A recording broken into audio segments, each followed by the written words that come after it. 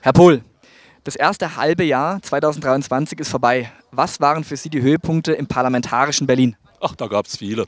Aber einige haben herausgestochen, zum Beispiel das äh, vorgelegte linke Aktionsbündnis äh, der Linken, die sich im freien Fall befinden, eigentlich in Auflösung.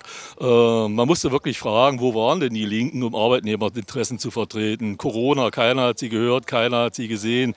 Beim Mindestlohn halbherzig, das ist alles nichts. Apropos Mindestlohn, das, was die Ampel da mal wieder losgelassen hat, das geht ja gar nicht. Erst haben sie gesagt, die Mindestlohn Lohnkommission soll es bestimmen. Und als wir mit dem Ergebnis nicht zufrieden waren, haben sie dann gesagt, jetzt machen wir es wieder über das Gesetz. Richtig ist, dass die Mindestlohnkommission einfach nur unserem Vorschlag folgen sollte, dass wir die Inflation mit einbinden bei der Berechnung und schon haben wir anständige Ergebnisse, mit denen die Bürger hier unten leben können.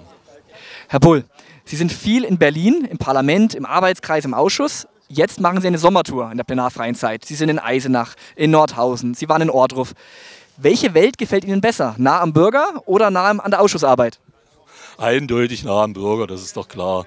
Äh, Sie sehen, die Ampel macht Politik für die politische Blase in Berlin. Die wissen gar nicht mehr, was da draußen los ist. Und wenn Sie hier mal auf dem Marktplatz rumschauen äh, und auch auf den anderen Marktplätzen, wo wir waren, keine andere Partei lässt sich sehen und erklärt ihre Politik. Wir sind da, wir machen was. Wir stützen die Bürger. Hier muss man die Probleme aufsaugen, die man dann mit nach Berlin nimmt. Ich habe heute zum Beispiel gerade über eine Rentenproblematik gesprochen, EU-Rentner, Anrechnungszeiten etc pp. Und ich meine, äh, das nehmen wir mit in den Ausschuss. Da machen wir einen Antrag draus. Das müssen wir das, dem, den Altparteien ins Brevier schreiben. Die müssen sich mehr um die Leute kümmern.